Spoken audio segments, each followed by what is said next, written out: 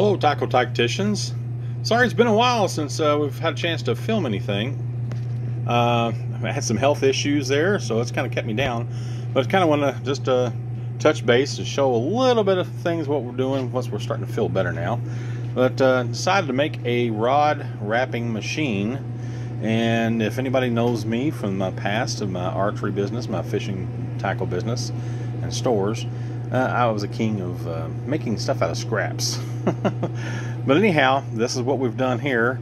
I've used actual the the base is uh, light bars for trucks for the four wheel drives. I had the big KC lights on them back in the day, what have you.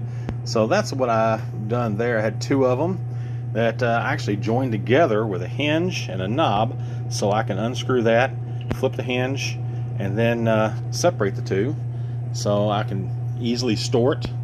Um, I've got one more out there that I just hadn't had a chance to build yet uh, to for an extension to make longer rods, but uh, this will do eight foot, fairly simple. Uh, that's about all I'm going to fish with or repair locally. But um, what I've done here is I'm going to come down here real slow here. Uh,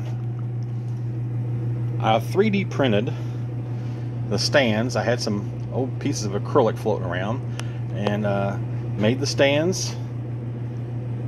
3D printed the bearing blocks so I put my sealed bearings in, inside of here. Um, had old sewing machine motor around here. I had to order the pulley. The pulleys were uh, $13 I think uh, through Amazon or eBay can't remember. Um, same with the chuck. I had to get this chuck. I ordered that through uh, Jann's Netcraft. And uh, of course got my box with my switch on and off and I've got a uh, rheostat controller uh, for drying purposes and I also I spent 15 20 dollars whatever on a pedal so I can have hands free hit the pedal. Um, the blocks themselves I actually created on the 3D printer and I ordered these little bearings and I think these are bearings for like a CNC machines or uh, not CNC but um, uh, copier printers, the uh, um, 3D printers, what have you, and then I took some three-quarter inch rubber hose, heater hose, put over top of them uh, to make them a little bit bigger. Uh, just cut them little pieces and stuck them on there. Didn't have to glue them or anything. Uh, and then the uprights, I 3D printed these. I found a file somewhere uh, and kind of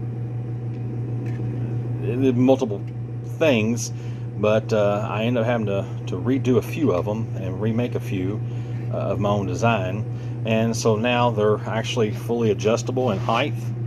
So to incorporate each rod, I've got it to where,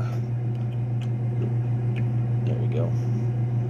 I've got it to where you got thumb screws to tighten it, loosen it. I've made these little arms here with the bearings over top of it, the wheels over top of it. Right now I'm just using a little rubber band yeah, I might upgrade to little springs from time to time, what have you. But um, it actually works pretty good. I've got a fishing buddy of mine, partner, that brought me some rods that need some tender loving care.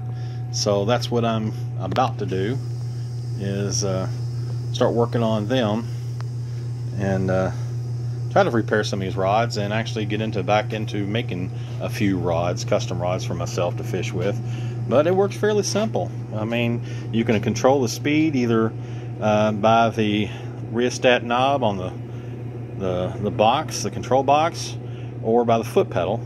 Um, and just basically hit the foot pedal, and there it goes. Spinning all the way around. Sorry about the cam work, guys. Sorry about that. You can see we're kind of a little busy. We're making a few jigs and spinner baits and painting up some crankbaits. Finally feeling halfway hoot and hollering good again, so get back into my little tackle making and having fun uh, being retired. Hey, sorry it took so long. We'll get some more videos out to you hopefully soon. We'll see you then.